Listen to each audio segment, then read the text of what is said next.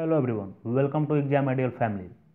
This is part 2 of Daily GK series for Air Force, Navy, SSC and other competitive exams. तो part one में हम भारतीय इतिहास के सिंधु सभ्यता के बारे में जितने भी महत्वपूर्ण क्वेश्चन बनते हैं उन सभी का हम बात कर चुके हैं और अब हम पार्ट टू देखने वाले हैं इसमें वैदिक सभ्यता से जितने भी महत्वपूर्ण क्वेश्चन बनेंगे ठीक है उनको हम देखेंगे और समझेंगे तथा याद भी करेंगे। ठीक है? तो हम सिंधु घाटी सभ्यता का पार्ट वन में देख चुके हैं। अब हमें देखना है वैदिक सभ्यता के बारे में। इसके बाद फिर हम देखेंगे महत्वपूर्ण धर्मों के बारे में, फिर राजवंश एवं उनके शासन के बारे में, और इसके बाद फिर मध्यकालीन भारत को पढ़ेंगे। तो चलिए, बिना देर किए हुए हम शुरू करते हैं अपना वैदिक सभ्यता। ठीक है? तो वैदिक सभ्यता का सबसे पहला प्रश्न आता है पूर्व वैदिक या ऋग वैदिक काल किसे माना जाता है? ठीक है? यानी वैदिक काल जो था, वो दो वो दो भागों में बटा था। एक था पूर्व वैदिक काल और दूसरा था उत्तर वैदिक काल। ठीक है? तो पूर्व वैदिक या ऋग वैदिक काल किसे माना जाता है? तो पूर्व वैदिक काल। ठीक है? पूर्व वैदिक काल 1500 ईसा पूर्व से 1000 ईसा पूर्व के काल को हम पूर्व वैदिक काल मानते हैं। ठीक है? तो इसका ऑप्शन हो जाएगा ऑप्शन नंबर ए ठीक है? नेक्स्ट है हमारा, उत्तर वैदिक काल किसे माना जाता है? ठीक है? तो उत्तर वैदिक काल का जो पीरियड था, वो था एक हज़ार ईसा पूर्व से छः सौ ईसा पूर्व तक। ठीक है? उत्तर वैदिक काल का पीरियड कितना था? एक हज़ार ईसा पूर्व से छः सौ ईसा पूर्व तक। ठीक है? तो इसका ऑप्शन हो जाएगा हमारा बी ठीक है? आगे बात करें तो नेक्स्ट है हमारा, आर्य शब्द का शाब्दिक अर्थ है, ठीक है? आर्य शब्द का शाब्दिक अर्थ क्या होता है? श्रेष्ठ या कुलीन, ठीक है? आर्य शब्द का शाब्दिक अर्थ क्या होता है? श्रेष्ठ या कुलीन, ठीक है? नेक्स्ट बात करें तो नेक्स्ट है हमारा फ़ोन नंबर प्रारंभिक आर्यों के बारे में निम्न में से कौन सा कथन सही नहीं है? ठीक है। पहला ऑप्शन है, वे संस्कृत बोलने वाले थे। वो संस्कृत बोलते थे, बिल्कुल सही है। वे घुड़सवारी किया करते थे। हाँ ये भी सही है। वे कई झुंडों में भारत पहुँचे, ये भी सही है। वे मुख्यतः नगरों में निवास करते थे। ये जो है, ये गलत है। ठीक है? तो इसलिए ऑप्शन हमारा डी हो जाएगा, क्योंकि प्रश्न है कि निम्न में से कौन सा कथन सही नहीं है। तो वे लोग थे, वे ग्रामीण इलाकों में निवास करते थे, ठीक है? वे नगरों में निवास नहीं करते थे।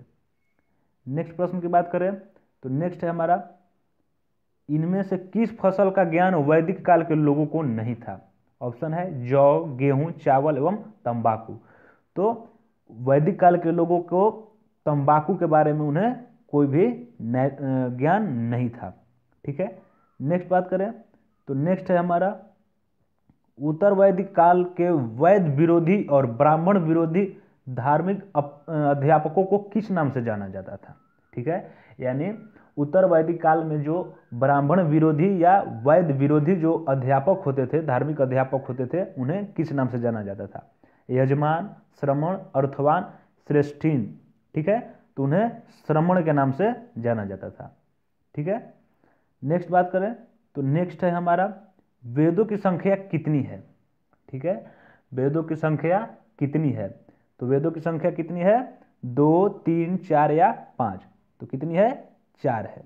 ठीक है? तो ऑप्शन नंबर सी हो जाएगा। ठीक है? नेक्स्ट बात करें। तो नेक्स्ट है हमारा, कौन से तीन वेद संयुक्त रूप से त्रयी या वेद त्रयी कहलाते हैं? ठीक है? तो वेद चार होते हैं, जिन्हें, जिनमें अथर्व वेद को छोड़कर बाकी तीनों वेद को हम क्या बोलते हैं? त्रय वेद, त्रय कहते हैं। ठीक है?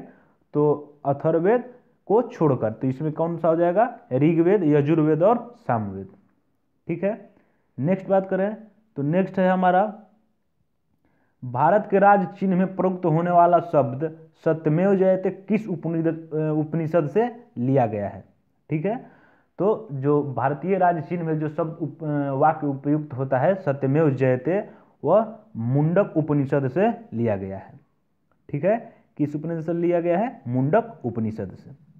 नेक्स्ट बात करें तो नेक्स्ट है हमारा ऋग वैदिक आर्यों का मुख्य व्यवसाय क्या था? ठीक है? तो ऋग वैदिक आर्यों का मुख्य व्यवसाय क्या था? कृषि पशुपालन शिक्षा या व्यवसाय। तो उनका मुख्य व्यवसाय क्या था? पशुपालन। ठीक है? इस पर ध्यान दीजिएगा कितना लोग कृषि पर आ, आ, सही कर देंगे लेकिन मुख्य व्यवसाय क्या था? ऋग वैदिक काल के आर्यों का तो पशुपालन था। ठीक है? नेक्स्ट बात करें तो नेक्स्ट है हमारा, प्रथम विधि निर्मित कौन है? यानी प्रथम मनुष्य कौन है? तो हिंदू धर्म के अनुसार प्रथम मनुष्य मनु को माना जाता है। ठीक है? प्रथम मनुष्य किसे माना जाता है? मनु को माना जाता है। नेक्स्ट बात करें तो नेक्स्ट है हमारा, कृष्ण भक्ति का प्रथम और प्रधान ग्रंथ है।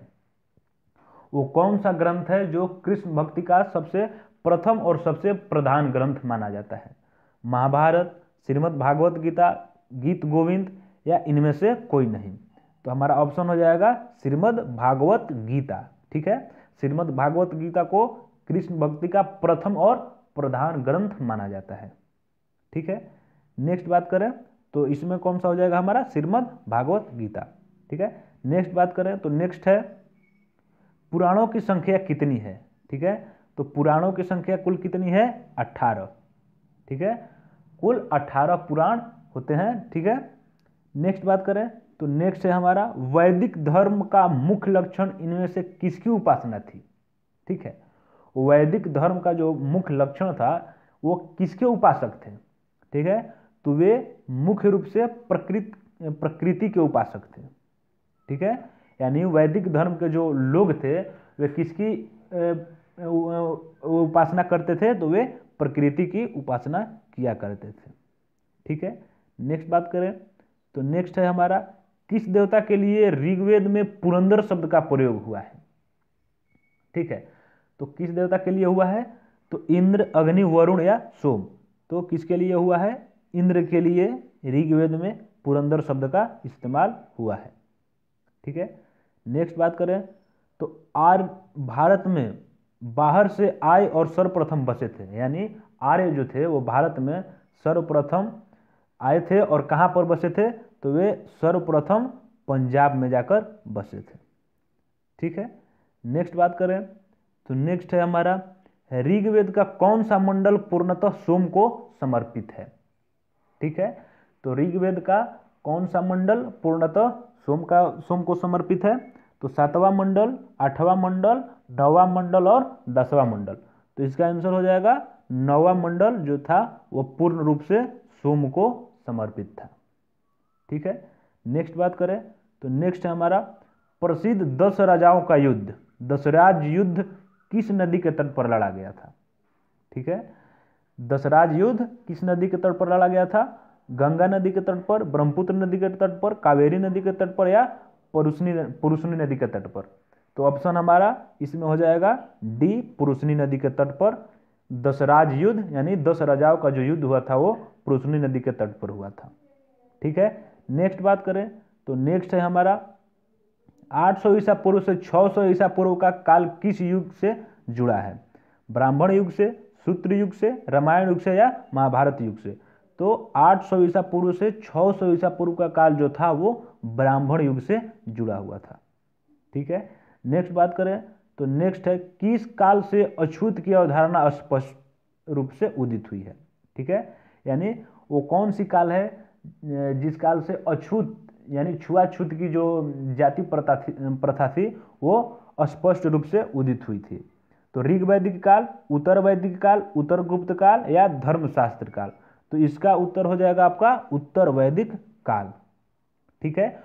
उत्तर वैदिक काल से ही अछूत की अवधारणा स्पष्ट रूप से उदित हुई है। यानी उत्तर वैदिक काल में बहुत सारे जो सामाजिक बुराइयाँ थी, वे प्रकाश में आई थी।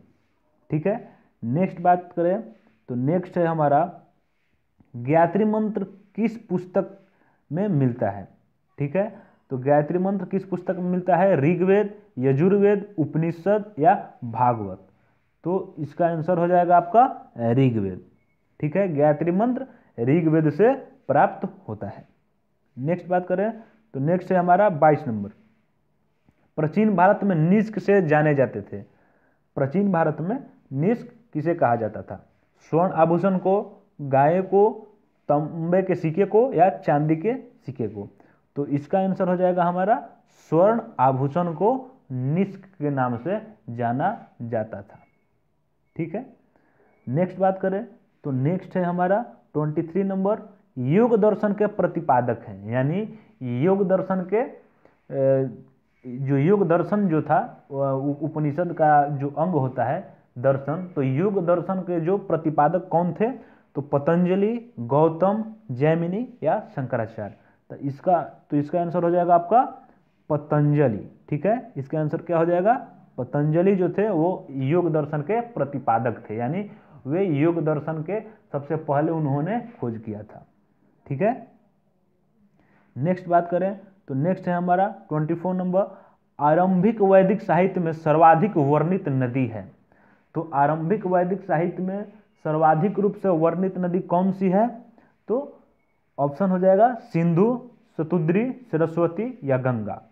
तो आरंभिक वैदिक साहित्य में, ठीक है, सर्वाधिक वर्णित नदी कौन सी है?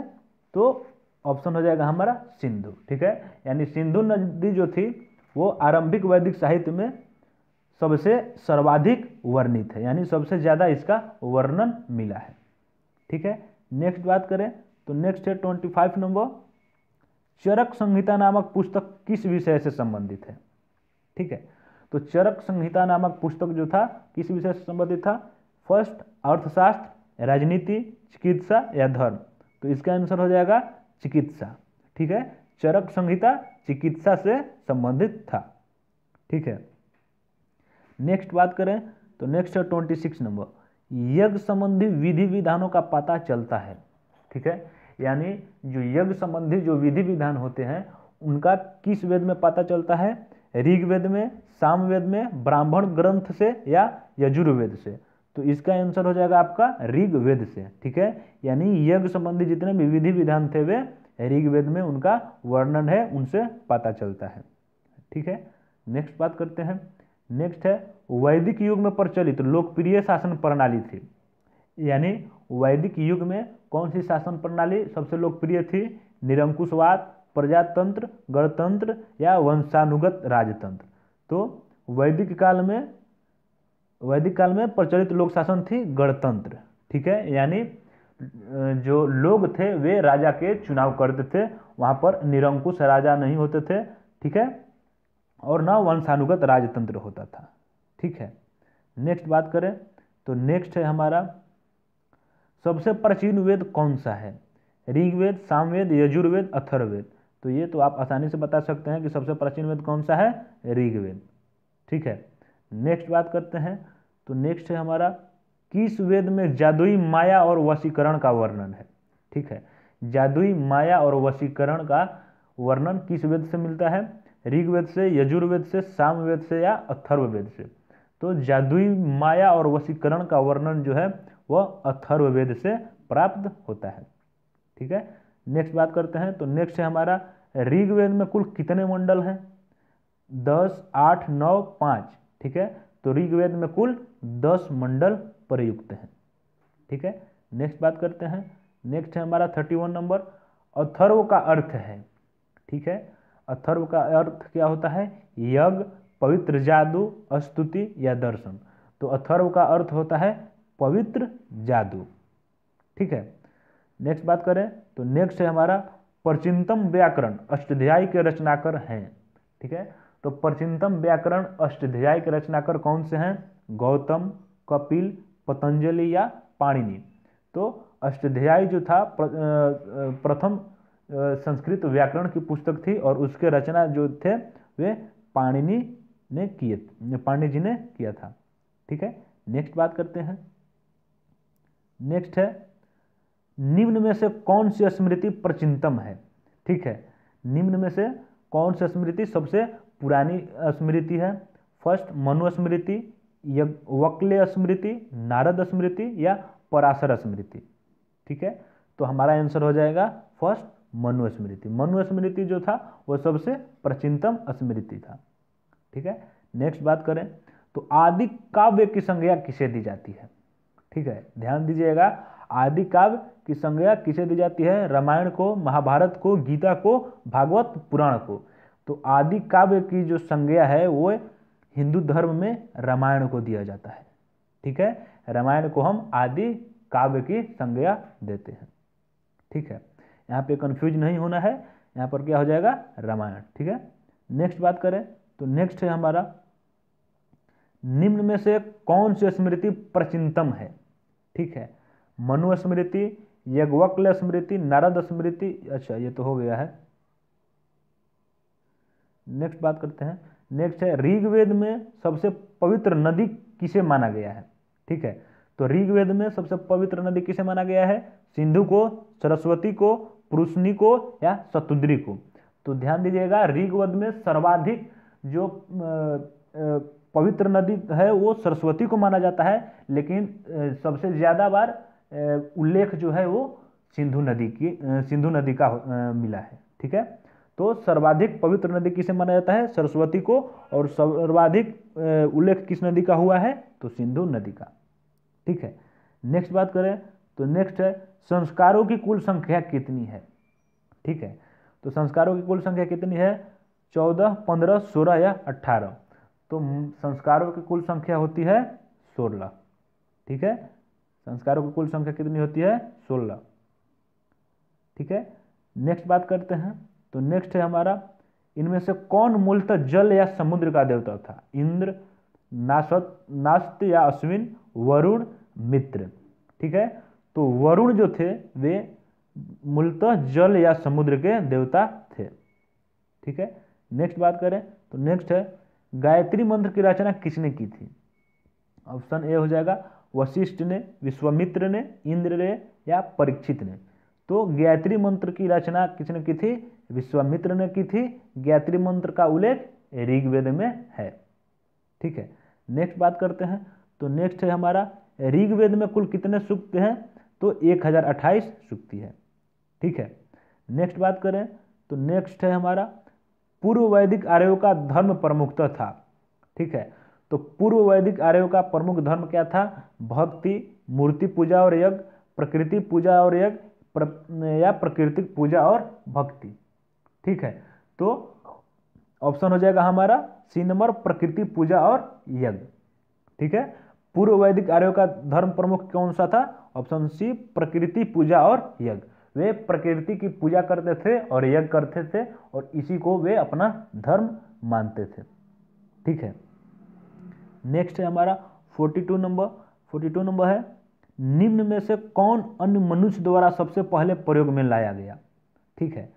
कौन सा अन्न जो था, मनुष्य द्वारा सबसे पहले प्रयोग में लाया गया था? जौ, चावल, गेहूँ या राई। तो सबसे पहले जौ को मनुष्य द्वारा प्रयोग में लाया गया। नेक्स्ट बात करें तो नेक्स्ट है हमारा, वैदिक लोगों द्वारा किस धातु का प्रयोग सबसे पहले किया गया? लोहा, तांबा, सोना या चांदी। तो सबसे पहले वैदिक लोगों द्वारा लोहा जो धातु था, इसका प्रयोग सबसे पहले किया गया। ठीक है? नेक्स्ट बात करते हैं। नेक्स्ट है हमारा 45 नंबर ऋग्वेद के रचनाकर कौन है? विश्वकर्मा धन्वंतरी, विश्वामित्र या भरत मुनि ठीक है? तो इसका आंसर हो जाएगा धन्वंतरी, यानी ऋग्वेद की रचना कर किसे माना जाता है? धन्वंतरी को। धन्वंतरी ने ही ऋग्वेद की रचना की थी। ऋग्वेद जो है सबसे प्राचीनतम वेद है। ठीक है? नेक्स्ट बात करें तो नेक्स्ट है, उत्तर वैदिक काल में सबसे प्रतापी देवता कौन थे? ब्रह्मा, विष्णु, शिव या इंद्र।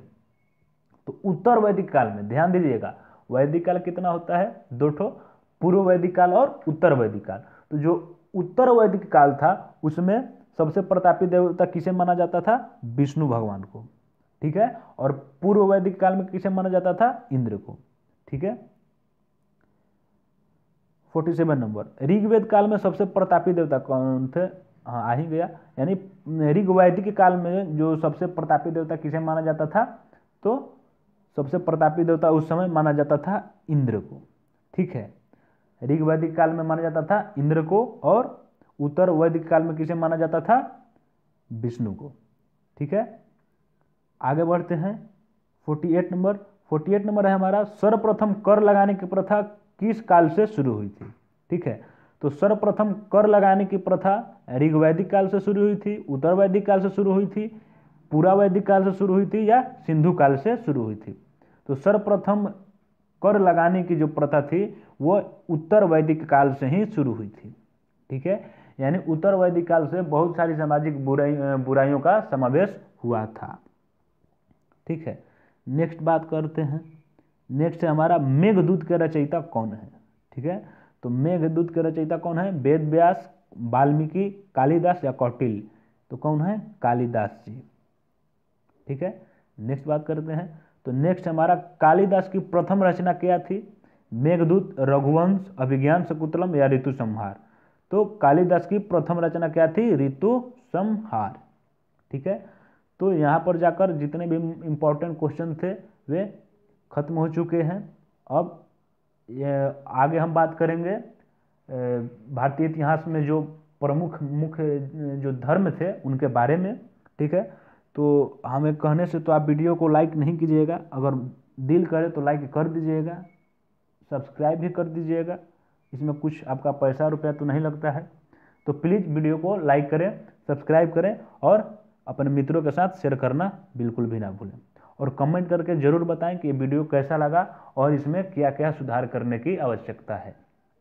तो थैंक यू फॉर वॉचिंग